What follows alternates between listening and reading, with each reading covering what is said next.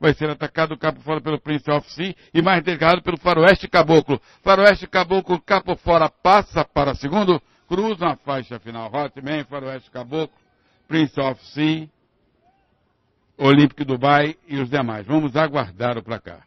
Vitória para o